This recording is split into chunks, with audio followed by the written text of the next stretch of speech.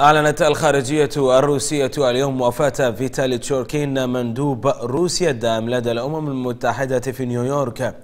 وأعبرت الخارجية الروسية عن تعازيها لأسرة الفقيد الذي توفي قبل إتمام عامه الخامس والستين.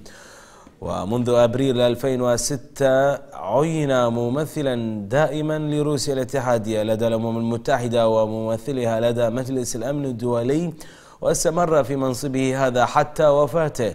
يذكر أن الدبلوماسي الروسي الراحل ولد في الحادي والعشرين من عام 1952 في موسكو وتخرج في سبعينيات القرن الماضي من جامعة العلاقة الدولية في الاتحاد السوفيتي.